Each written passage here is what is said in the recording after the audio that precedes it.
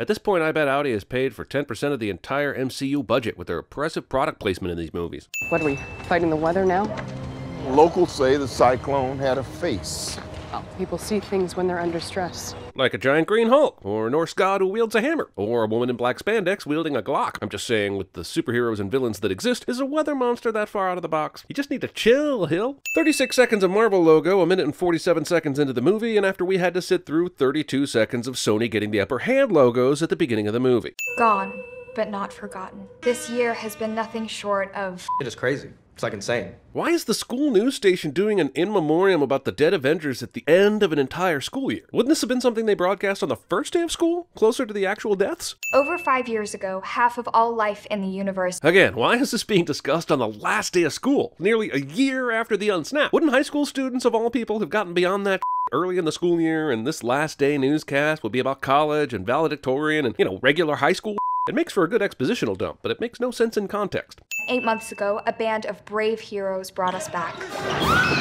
Still calling bullshit on no one appearing in the exact same space as another human being causing some weird mutation string. But at least the movie chose to show the gym scene in this scenario, as opposed to what happened in the men's room. They called it the blip. Comic Sans. Also, this movie basically ignores the blip, except for this one 60 second news broadcast, which is probably because the filmmakers weren't told the details of Endgame, but ends up feeling like they didn't care about the events of Endgame. I'm gonna buy her a black dahlia necklace because her favorite flower is the black dahlia because of, well, The murder. the murder. MJ is fed up. Date her at your own risk, dude. I see this ending badly if she's picking favorite flowers based on her favorite murder, or even has a favorite murder. I may not know much, but I do know this. Europeans love Americans. Um, you might want to check that, Ned. According to the published and certified Love Actually documentation, it's Americans who love Europeans. By the way, travel tip, you should probably download a VPN on your phone just so that the government can't track you while we're abroad. Conspiracy theorists. When I blipped back to my apartment, the family that was living there was very confused. I'm sure. And just imagine all the people that blipped back in the middle of the ocean because they were on a boat, or landed on the third rail and died because they had been in a subway car. And you know there were some people mid-orgasm. How did that work out for them? Jesus, I think I want a series of movies on various people that blip back. Maybe not the orgasm people. Can't be said enough. I hate, hate, hate Spider-Man wearing an iron suit. Yes, it does happen in the comics, you nerds, but it's relatively brief. And this is the second movie he's worn this suit in, and it's just not Spider-Man when he's in iron armor. That mask CGIing off his head looks insanely stupid. I just want him to pull his mask off. Is that asking too much? You sent Nick Fury to voicemail? Yeah. You don't send Nick Fury to voicemail. Did you hear that? I send everyone to voicemail. Brad Bird could call me and tell me Disney picked up the rights to my books and he wants to direct them, and he would still be saying all that to my voicemail box. Part of it is that I'm half deaf and I don't hear well, and my phone transcribes voicemails to me almost instantly. The other part is that I get so many calls from scammers, asshats, salesmen, and family members that I'm mathematically better off not answering any calls. And math ain't never done lied to me once. Hungry? I thought that you could sense that with your Peter Tinkle. Hey, we forgot to mention Spidey sense in the first movie, so we'll just have a banana in the face gag here, so you don't think we're complete idiots. How would he be able to pack that, even if he wanted to? I'm assuming that giant charging port would have to come with it. Good luck explaining that at the airport before boarding an international flight. This looks like a regular airplane, but look closer, and you will see that absolutely no one in coach is wishing they were dead right now. Flash makes fun of Peter about being on an airplane, but also Flash is in first class. And yeah, he's rich, but what kind of a school trip lets individual rich students upgrade to first class on their own? He blipped, so technically he's 16, not 21. And isn't that what his ID would say? They most certainly would have checked before serving him. Heart of Iron. Heart of Iron. They made a Tony Stark documentary and they chose the title Heart of Iron. Why not Stark Realities? Or why not the MCU? Or Dead Dickhead Now Revered? Or Tony, Tony, Tony? Someone falls asleep on a trip and puts their head on the lap or shoulder of another character and it's awkward cliche. We have a lot in common. So, uh, we're boyfriend and girlfriend now. That was fast. I know that's the joke, but still, an eight hour flight feels more like an excuse to get Peter alone for more of this film, and as such, it works. Whatever happened to being an American bachelor in Europe? Peter, those were the words of a boy. And that boy met a woman. Ned is a little too Manny Delgado in this movie for my taste. There's nothing in there. I swear. Yeah, that usually works with customs agents. Also, why wouldn't Aunt May shove that suit under some clothes or something? She knows this is a secret identity, so her disregard for secrecy here makes no sense. Are you telling me that in eight months since the unblippening, airports and public buildings worldwide have all unanimously decided to deify Tony Stark in massive artwork displays? Do you have any idea how long it takes a government to make a decision? Eight months? Can a master painter even finish a portrait this size in that amount of time? Put the bags off. We're gonna meet at the Da Vinci Museum at three. The You have two adults on this student trip and you're not going with them to the museum? You're letting them find their own way? In Venice? Without an adult? What am I watching? What is this? Martin Starr is a great comic actor, but physical comedy isn't necessarily for everyone. He had a good couple moments in Homecoming, and now this movie is tripling down on that teacher you laughed at last time. So we get him falling asleep on Peter, telling marriage sob stories to Peter, and now aping Mr. Bean. Bo, it's the most perfect word in the world. Italians created it, and I just discovered it. What does it mean? That's the thing, it can mean a million things. Not sure how that's cool or helpful. How would anyone know which version of the word bow you're using? Smurfing Italians. Also, this bow never comes back again or is referred to throughout the rest of the movie. It's literally just filling and killing time with a word that means nothing. Bo is my new superpower. It's like the anti-aloha. I'm pretty sure the movie Aloha was the anti-Aloha. I guess you could suspend my disbelief enough to believe that Mysterio would have his theatrics staged in Venice when Peter is there because, well, Peter is there. Except I don't know how he would know at this point that Peter is also Spider-Man. But regardless, I'm calling bullshit that he would know Peter would be at this exact place at the time he did this, so the whole scenario is built on an Italian river of lies. In all seriousness, what did you think that was going to accomplish? Does Peter often swing on his web by connecting them to the Hudson River? I know people are running for their lives, but you're telling me no one sees this? It's broad daylight, man. And there are so many no one sees this moments later in this movie, I'm giving it five sins right here and now to cover them all. What do you mean it's close to when? November. You didn't check the website? Oh, that's a good idea. Too much, teacher! Screwball prop comedy in a f***ing Spider-Man movie? There's comedy, and then there's emo Peter dancing to Staying Alive, and while you're not in that territory, you're closer than I would like you to be. Who's that guy? I don't know, but he's kicking that water's ass. Pretty intense scene and all. Too bad we've already seen two much better versions of this scene with the train scene in Spider-Man 2 and the boat scene in Spider-Man Homecoming. And two much better movies I could add, and I think I will. BuzzFeed says there's a sailor named Morris Bench who was exposed to an experimental underwater generator and got hydro powers. Movie uses a likeness to a character from the comics called Hydro Man, but it isn't actually Hydro Man. However, movie has Flash talk about the origins of Morris Bench, aka Hydro Man from the comics, anyways. You just shot Ned. Just a mild tranquilizer. He'll be all right. Sure, but what if he'd fallen on the side of his neck with the trank dart? Wouldn't it have then shoved the whole thing further into his neck and caused medical problems and I tried to bring you here. You avoided me, and now you're here. What a coincidence. Wait, was this a coincidence? This movie doesn't even know its coincidences from its contrivances. Another person touches that door, you and I are going to attend another funeral. How does Peter have any control over that? There are multiple realities, Peter.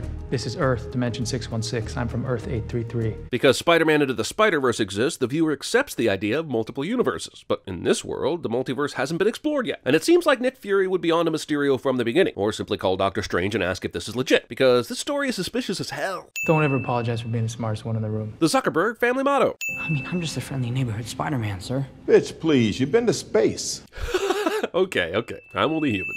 Captain Marvel. Don't invoke her name. Why not? And for something like this that could destroy the world, why wouldn't you use Captain Marvel? She's stronger than everyone and everything. You should have heard me on the phone with him. I really gave him hell. All I heard was crying. The name of this road in English translates to Nobody Nope Road. The French call it Les No. Peter waited so long to put on these Stark glasses that I actually had forgotten all about them. Why would a high school kid like Peter wait so long to see what a now dead Tony Stark left for? I'm shocked he didn't put them on as soon as they were handed to him, come to think of it. I have access to the entire Stark Global Security Network, including multiple defense satellites, as well as backdoors to all major telecommunication networks. Holy God goggles, Batman! Take off your clothes. This is a hell of a thing, considering her insistence he get naked to try on the suit is only in story service of giving Peter's rival something to use against him with MJ. But in addition to that, this should be creepy. It's played for laughs, but it's a grown woman demanding a teenager take off his clothes. You couldn't think of any better ways to give the rival leverage than this? Initiating strike. Initiating what now? Intercept point determined. Releasing kill vehicle. Peter has already played this game with his first Spidey suit Tony gave him. He should have known as soon as Edith said target, this is what he was asking her to do. Also, I don't care who Tony Stark is, it is insane to think he would just have a weaponized satellite in the sky that could be initiated by someone not understanding a question. I am no science guy, but I don't think that's how momentum works. Once Peter exits the vehicle, he still has forward momentum, but begins to immediately slow, comparable to the bus itself, which continues at the same speed. All I'm saying is Peter should either have landed back on the roof of the van behind the opening, or at least dinged the edge of the opening on his way back down. It's clear to me that you were not ready for this. To be fair, he told you that in Venice. Also, isn't this yet another rehash of Homecoming with Fury taking the place of Tony? Is this what we get to look forward to in all these MCU Spider Man films? Someone will tell him he's not ready to fight the big fight, and then he'll do it anyway and come out on top? It's like multiple versions of Rocky 3. Lucky for us, We got the best seats in the house. From here on out, I'm shortening too much teacher to TMT. It will save me an entire syllable, and at this point, I will take every ounce of saved breath over this movie that I can get. I'll save you a seat next to me. Zendaya is adorable in this movie. But, well, all I'm saying is don't watch the entirety of Euphoria on HBO right before you watch her in this movie, because it will be a jarring juxtaposition. Also, jarring juxtaposition is also A, an edgier name in chef circles for the surf and turf, B, what my college girlfriend called sex, C, the name of my cousin's jazz core band, or D, one's perception of marriage prior to and immediately after the wedding ceremony. And Peter, whatever you do, please steer the monster away from the opera house. Yeah, Ned, I know. And now so does Betty, because she's right behind you and Ned is not using an inside voice. I would totally kiss you, but I think I just threw up in my mouth a little. You did? You threw up in your mouth a little? How do you not know for sure whether or not you threw up in your mouth? Here's where her dad from the Nice Guys would chide her. Don't say I think just to fill space in a sentence. But also, there is not a teenage male alive that would let a little vomit get in the way of some action. Choice is yours. I hear you can get with this, or you can get with that. You can get with this, or you can get with that. You can get with this, or you can get with that. I think I'll get with this, because this is where it's at. This scene where Peter gives his god goggles to Mysterio willingly, his spidey sense failed him, bro. This movie makes it seem later like he's been struggling for a while with using the Peter tingle, but other than that banana bull, I can't find much early movie evidence of this, and I suspect it was largely left on the cutting room floor. Because maybe he didn't trust me to have Edith, he just trusted me to pick who should. I mean, maybe, but my guess is he wasn't expecting you to pick some rando you met a couple days ago. Peter might as well be giving the glasses to Flash. You stopped the elementals, you saved my life, you saved the world. Peter isn't this dumb though. Like, I get that he's grieving Tony and maybe not at the top of his game, but even if the Spidey sense is f***ing him over, Peter's own brain should be ringing all the bells right now. Mr. Stark would have really liked you. Have you forgotten how good a judge of character Tony Stark was? He'd have seen through this asshole way back in Venice, and he would have hated a guy that pretends to be a hero through illusions rather than truly doing heroic stuff. To the man who brought us all together, our former boss, Tony Stark. And seriously, f- you, movie. This is now two Spider Man villains in a row that have been turned into essentially Iron Man villains that Spider Man has to fight. Is it asking too goddamn much to have a Spider Man movie be a Spider Man movie? Maybe Sony should take this back over. Also, Mysterio is essentially the Mandarin all over again. A rather cool character who has literally been acting the whole time and is uninteresting as hell when his true colors shine. So way to go, Far From Home. You're the Iron Man 3 of Spider-Man movies. But also, world's longest toast ever. Oh, $611 million for my little therapeutic experiment. I haven't seen this kind of character in the shadows retconning since the last Saw movie. Chamber Science, we're leaving because of witches. That's witchest. That's what it said on the news. And the news never lies. The news that the news never lies about the news is fake news. Oh, good thing MJ happened to be right by the drone projector that Peter caught in his webbing, and they could have this awkward conversation on the bridge. Because then Peter would never find out Quentin Beck is a fake and a bad guy, and this movie relies on way too much coincidental coincidences. Wait a minute, does that mean that The elementals are fake? There was fire and destruction. Who would do something like that? Hmm, Peter, who would do that? God, this movie makes Peter Parker dumber than a box of rocks. I am trying to fool 7 billion people here, including Nick Fury, who happens to be the most paranoid and most dangerous person on the planet. Not true. The most paranoid person on the planet is clearly Kanye West, and the most dangerous person on the planet is clearly Kanye West. I realize he didn't have a lot of options since he can't fly and but that is a four and a half hour train ride he just took from Prague to Berlin, and I'm just saying, all the evil could be done already by the time he gets there, and I wouldn't be surprised. In case you confused it with Berlin, New Hampshire. I don't think you know what's real, Peter. I just can't give enough sins for this movie wants to excuse as the work of drones that could never be the work of drones. Add 10 now!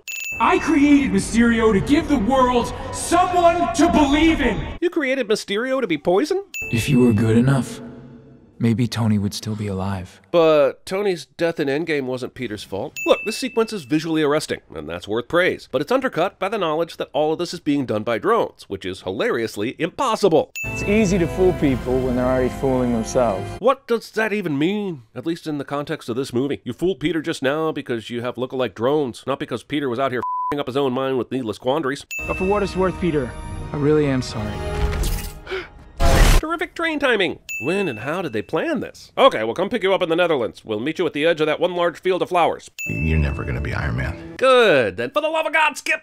You're the head of security and your password is password? I, I don't feel good about it either. Movie has time for this. Oh, I love Led Zeppelin! How does a kid as pop culture savvy as Peter was in Infinity War and Homecoming mistake ACDC for Led Zeppelin? Or is the movie making a joke about his probable concussion? Okay, people, no Avengers coming. We're good to go. But why aren't any Avengers coming? Fury has already decided he can't rely on Spider Man, so why couldn't he call someone? Falcon, Rhodey, Doctor Strange, Asbestos Lady? It's literally not a Spider Man movie if his love interest isn't in danger and needing him to rescue them. Like the Power Rangers. You're thinking of Voltron. Who? Voltron! You think they were making all this up as they went about filming it? Be ready for anything. Then she went to the roof with a bazooka and saves him when the drone appears and is going to kill him. And I guess they knew about the drones already from Happy's warning. Regardless, I'm more curious how be ready for anything became shorthand for one of these drones is definitely going to show up outside this window and try and kill me, so you should go to the roof with a shoulder rocket. Edith, give me some protection. Copy.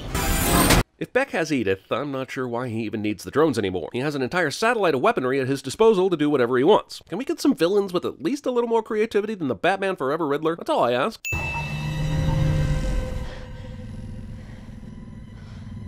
This movie is a lot more Jurassic World Fallen Kingdom than I think they were going for. Happy, thank God! I bought us some time. And apparently some amazing earpieces. Happy and the kids are in a goddamn vault, still able to communicate with Peter. Spider-Man does some stuff, but I'm not honestly sure what any of it was. I'm sure it was awesome and devastating to the drones, but I'd need a transcript of the events to know what the f- just happened. Gee, I wonder what this bridge is. It's London Bridge, right? Great, no webs. That seems unnecessary. He just started using this suit. He used up all his webbing already? Why do you have to strip him of one of his tools of the job in order for the finale to have stakes?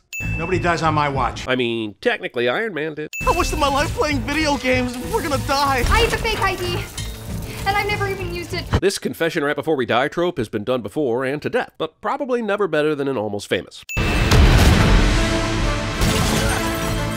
Okay, that was badass. Wow, Peter went from struggling with his Peter tingle to seeing blind like Daredevil, and I'm calling bull. If it was so easy, all he had to do was wish for it a little bit, then why the struggle to use it before now? You're in the strike zone. The chance of getting hit is. Fire all the drones now! This guy is even dumber than Kent Mansley. Sorry, it's broken.